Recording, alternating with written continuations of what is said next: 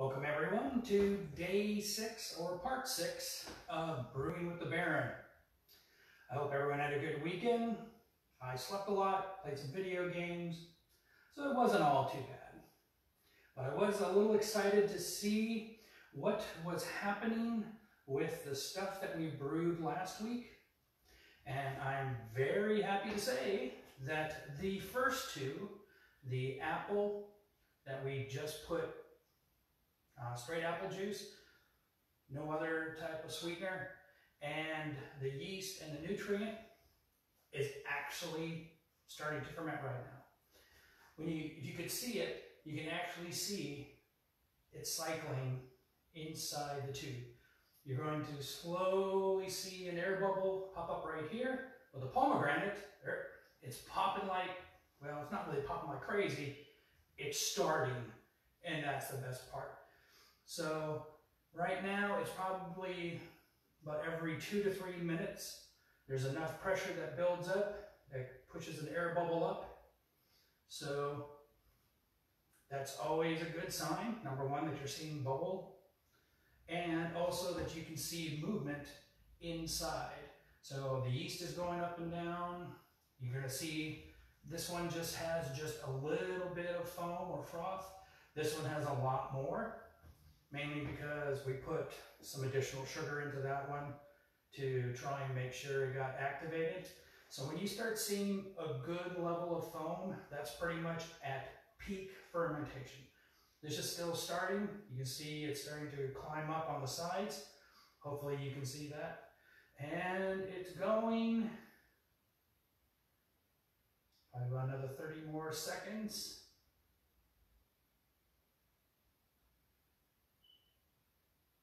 And here we go.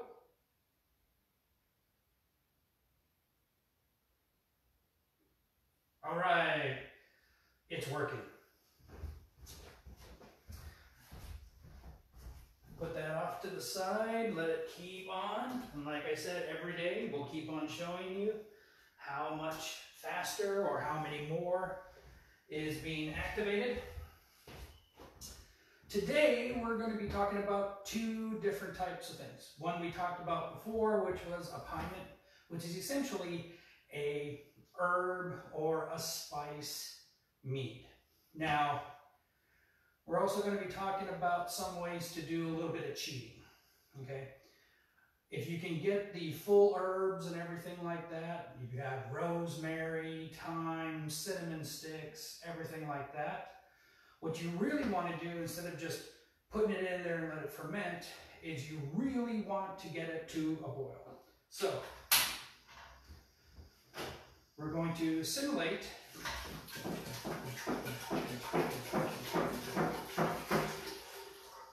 it going to a boil. Now, you might see how dark this is already. I've already put all the stuff in because it takes a bit of time to prepare. So you need to get all the stuff, you need to determine whether you need to chop it up, um, put it on the boil, make sure everything is good. The most important thing here is when compared to the honey, you really want to get a good boil going through. The longer you keep it in there, the more flavor is going to come out. Now, sometimes you have to be careful on a few things. Number one, sometimes the more you boil it or uh, essentially like boiling it like a tea is that you might get some uh, tannic acid and stuff. And we'll actually do one of these either tomorrow or the next day. What happens with that is you get a bitterness or the flavor becomes off a little bit. So what you want to do is you want to make sure you bring it up to a boil, no more than three to five minutes, take it off, and then let it sit. Now, you can do different things. You put it in there, and then when you're done, strain it out with a strainer, or you can put it in like a cheesecloth bag and just stick it in there and let it sit overnight. Depends on how strong you want the flavor. Now, the other thing, the second part, is we're making a five gallon batch, not just the one gallon that we had before, but a five gallon batch. Now, sometimes people will be, I don't, don't know really anyone that's allergic to honey, but sometimes trying to brew everything with honey can get pretty expensive. So what we did on this one is we're still putting in uh, one pound of honey per one gallon, but so that means there's going to be 15 pounds of honey. But we're also going to be adding sugar to it. So I've already put the sugar into it, let it dissolve, put the whole spices in there, everything like that. Filled it up pretty much about halfway. And now what we're going to do is we're going to fill the rest with honey. Now, remember before when I used when I said that it's going to take about two, three and a half weeks. If you have a lot of sugar or a lot of honey, or you have a combination of the two, it can go five, maybe six weeks sometimes. So you got to be, be prepared to just let it sit and do its job. Don't try and rush it or man, maybe I should have done this. Don't second guess yourself. Go play some more video games, write an email or two, take an online course. Hey, we all have plenty of time right now to do an online course if we want. Or get a subscription to Great Scholars or something like that, which I'm very much thinking about doing right now. So what we're going to do is we're going to let this boil up and then we will add the honey. Like I said before, I've already put in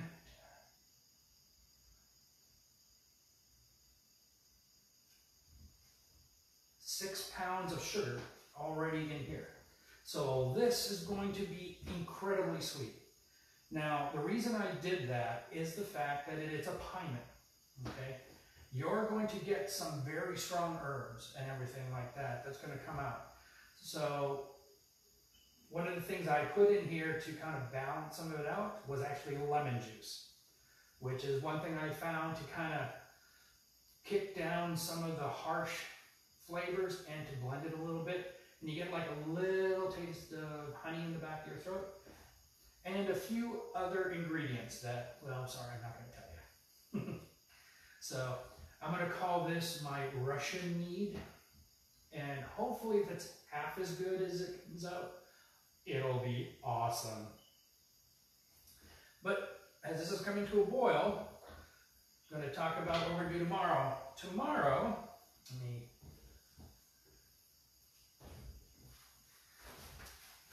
my hands here. We're going to be using this. Like I said, it's the plastic one with a big opening, okay? We're going to be doing a melomel, which is specifically going to have spices or herbs and fruit. That's why it has such a big hole, so that we can easily put it in and easily take it out. And as I showed you before with the top, it has the same size diameter as the five gallon, but this is six and a half gallons. So the reason it's six and a half gallons is specifically for a melomel. You put in a lot of fruit.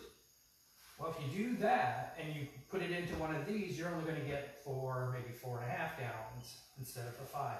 So they make it bigger, specifically designed to put fruit. Now, one of the things that they used to do a long time ago was when they put the fruit in, it actually allowed the fruit to stay fresher longer. So instead of, hey, we got to eat all of our fruit by November, December, we can still have some in February from the nice little vat that we created. So and it also provides vitamin C, nutrients, antioxidant, antioxidants, and things like that, specifically to either the cider or the mead or the perry, whatever you want to create. A lot of water taking a lot of time to boil. Now, again, because this is bigger, you're also going to get a tendency of it taking longer to start the fermenting process. I have two of these at home. One of them started in a week. The other one took two weeks. I made them the exact same day, exact same procedure. It's just the way it is. So that's why they usually say add the yeast, add the sugar, add the nutrients, and then let it be. It's like one of those things where if you watch water boil, it's going to take forever. If you're going to watch a mead finally start to ferment, or a cider, it can take a very long time. Now, one of the other things that we did last Friday, which hopefully you saw the nice little giggle fest of me and my two friends, Ellie and Alex, was that we started looking at all the different combinations of flavors. One of the things that I found is I like a good base, i.e. apples. Um, I was surprised to actually how much grapes. I actually kind of, grape juice went well with a lot of things. My friend Ellie was more in the spice. So she enjoyed pretty much everything, all spice added to it. So in her mind, it was, okay, this work, all spice works well with this, this, this, this, and this. Hey, that's great. I went with apples, works well with vanilla, a little bit of tart cherries, and a different combination. Like I keep saying before, all of this is what you want to make. It's all personal flavor, personal taste, and hey, if you bring it someplace, give it as a gift or whatever, they don't like it, just tell them, give it back to me. I will gladly take it off your hands. Now, one of the things that I do want to try a little later, there's a thing called lychee. Oh, I keep forgetting everything is backwards on here. I am going to ferment the crap out of this stuff. This, I think, would be freaking awesome. So, I got some. Hopefully I got enough bottles. And I am going to ferment straight lychee. I'm also going to make sure that I put some of the fruit in besides just the juice alone. I'm going to do with a one gallon batch just to make sure that it works real well. But I have a feeling that thing is going to be liquid candy.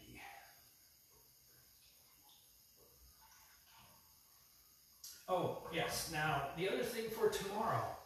Tomorrow I'm with the melomel. I am going to use pretty much straight sugar. No honey. So I'm going to use mostly brown sugar and regular white sugar. So I'm going to try and do a two-thirds brown sugar, one-third white sugar to see if that gives it a little bit of a caramel flavor. Maybe, maybe not. Maybe the melomel fruit flavor itself will overpower. When you start doing this, you're going to start realizing that you can take the sweetness out. And when you start tasting it, when you taste something with that it's supposed to be sweet, that's no longer sweet, it's going to play with your taste buds and your mind a little bit. So you have to realize, hey, this might, this doesn't taste good. Okay, don't throw it away. Add a little bit of light corn syrup.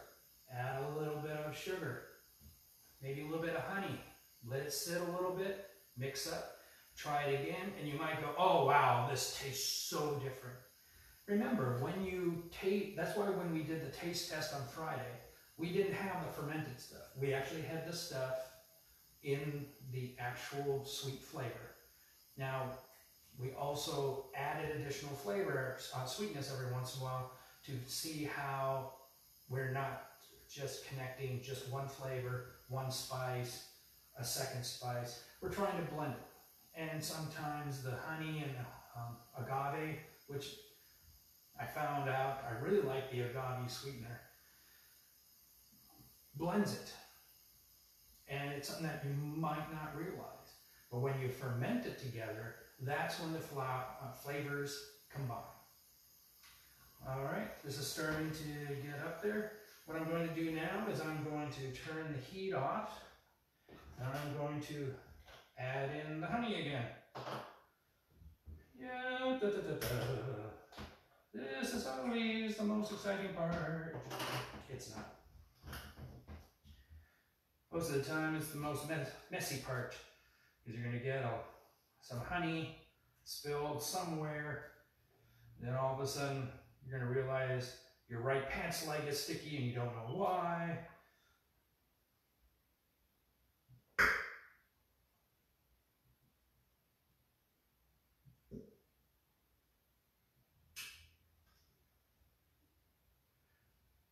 Like I said before, when we're doing the one gallon containers, the or jugs, that you might want to add some cold water or do a cold bath when you put hot stuff in to try and make sure that the glass doesn't break or anything. The one nice thing is the five gallon one, you're pretty much not going to have that break unless you put straight boiling water and a lot of it very quickly into something that's already extremely cold. So that's going to be able to work out quite well. The only bad thing is if you want to put it in there and you want to mix it, you're now trying to lift a five gallon carboy that is really heavy to try and do a little bit of mixing. So you need to be careful. You need to make sure it's either on the ground or on a sturdy table. The last thing you need is for five gallons of all this to break or spill.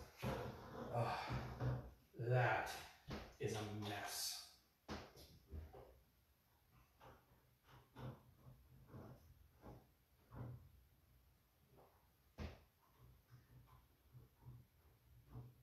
Now, I'm wondering how many of you that has been watching pretty much every episode, and I've seen we've had quite a number of people view it. Hopefully, you instead of just looking at it a little bit, you watch the whole thing. That would be great. Uh, you start to realize when you start creating this, you're going to create your own system.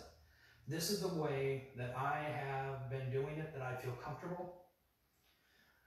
Some people might go and they want to really sterilize everything twice. That's fine. There's nothing wrong with that. My uh, one of my neighbors when I was growing up, no joke, he made two types of wine. He made dandelion wine and choke cherry wine. Oh my God, I don't know how much sugar he put in there, but strangely enough, dandelion wine actually tasted pretty good but it was also so freaking sweet. So he would ferment it, and then he would add a whole bunch of sugar at the end.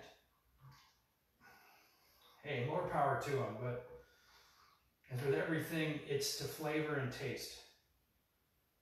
The worst, worst wine that anyone ever made when I was growing up was rhubarb.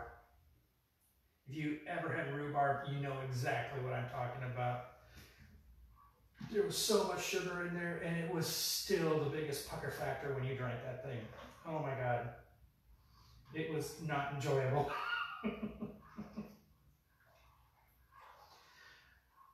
but she liked it, so, and she had a big garden full of rhubarb. She made so many rhubarb pies, rhubarb desserts, literally in the fall, most of us did not want to go over to her house because you were always going to get something rhubarb. Um, choke, or crab apples, not choke, crab apples. There's a, there's a bite to a cider if you've ever had one. Those are really sour. Now, some people like to put that, I think it's malic acid in to try and make it a sour apple without having to actually make the crab apples to do it. Like I said, personal flavor.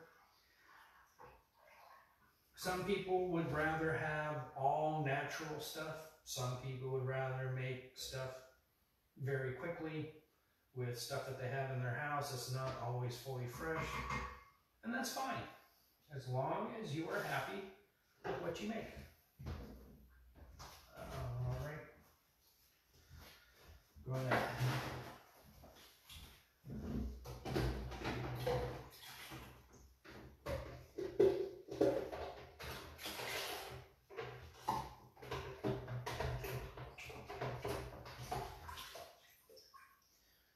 Now, if anyone has any flavors that they think that they've had before and they were like, oh my god, this was great, or hey, what do you think of this? Please give me a comment, give me a suggestion. And who knows, maybe we'll give it a shot. This is going to be the last week that I'm going to plan for this right now, mainly because, well, either I get a whole bunch more fermenting equipment, or we have to wait till everything's ferments, and that, like I said, is going to take anywhere between two to five weeks. So it's a process. Don't worry, I'll come up with some other videos in the meantime. We might do a periodic check, like a weekly check. Hey, it's fermenting Monday. Let us see what the status is and everything like that. Or if you have any questions, it'll be a great time to come up with a question and we can do a sit down and answer. Trust me, we all have plenty of time to do this. And like I said before, the two that we started with, which was just an airlock and a stopper,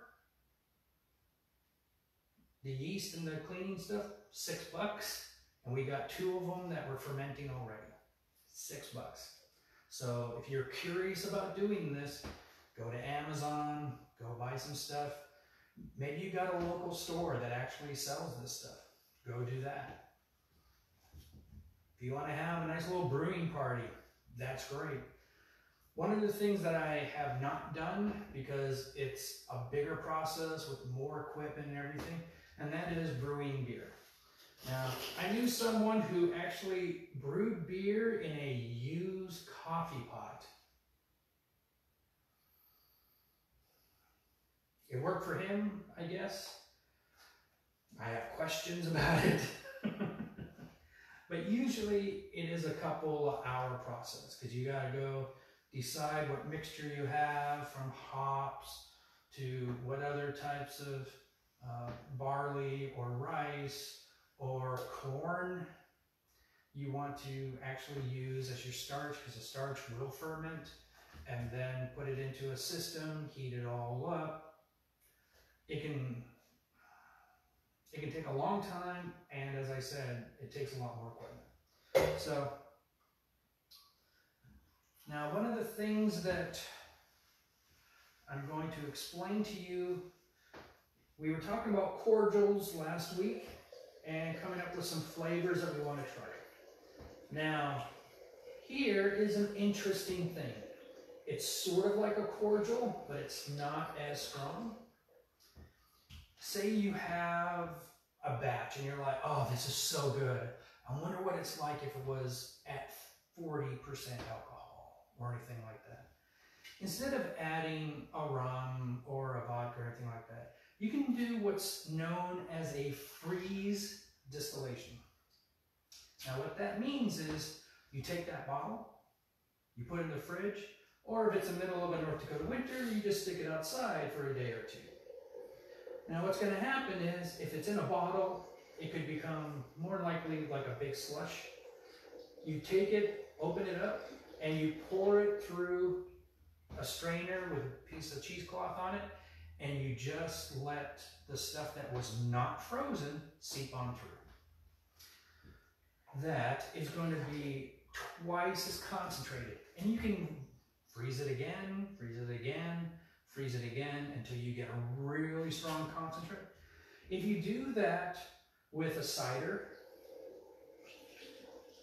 the part that gets frozen is going to have a slight amount of alcohol, but not a lot. So you can just that's like going to be half a percent, maybe up to two at the most if you don't do it right. But the part that is concentrated is called Applejack. If you do it with a mead, it's called Honey Jack. And you can get a really, really strong concentration. Like I said, it's not going to be at the level of a cordial, but it's going to be in the mid-level between the mead or the cider that you created and possibly a cordial. So all of a sudden you now have a new type of mixture or product.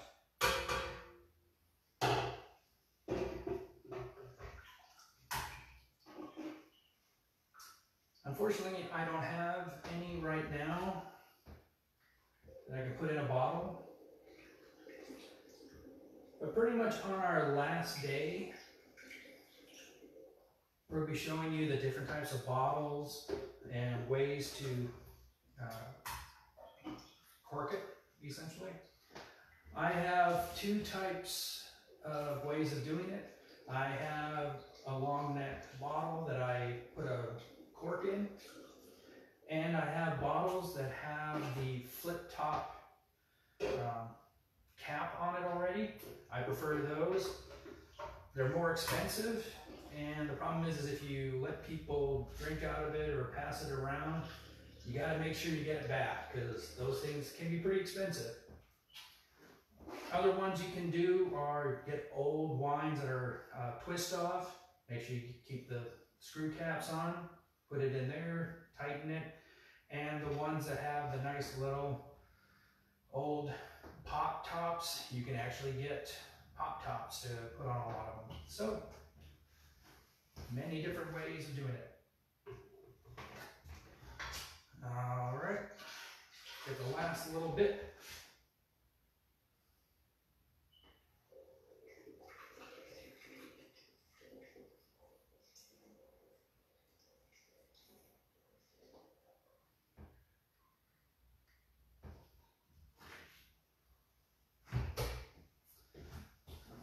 All right, we take the rest of our water. Add it until you get to the bell of the carboy.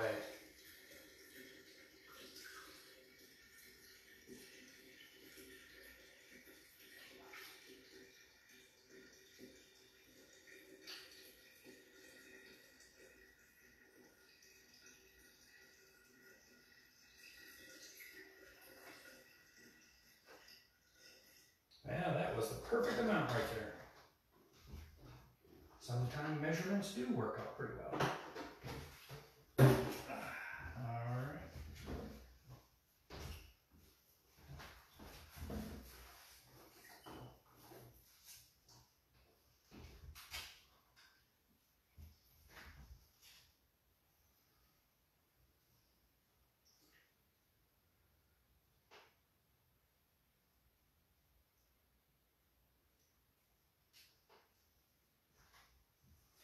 So as you can see, well, hopefully you can see, we got five gallons. Now, what I'm going to do is, I'm going to put the stopper in real quick. I've already cleaned everything already. I have a tendency of doing that, so we don't waste time.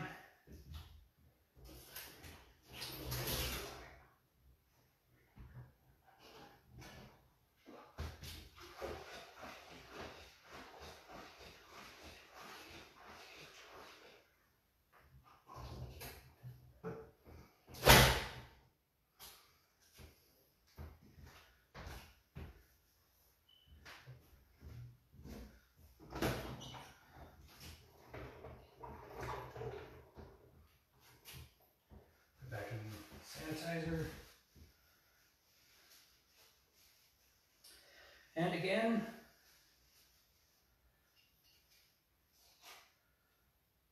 I'm going to let this sit 24 hours.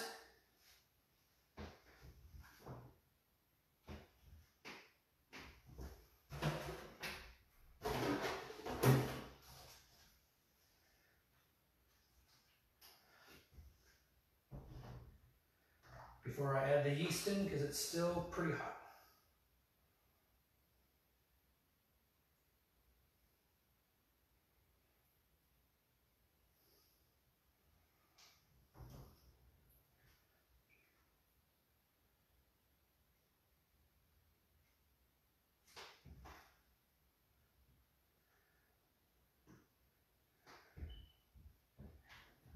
And that'll do it for this one. All right, today was a much faster day. Uh, I wanted to try and cut down some of these. Some of these are starting to last a good 40 to 50 minutes. Trying to bring it down a little bit because we're doing less of the actual beginning aspect and more of the advanced and answering some questions or going and figuring out a different aspect to it. So hopefully these will start going a little faster. Still try and keep it around 30, 35 minutes.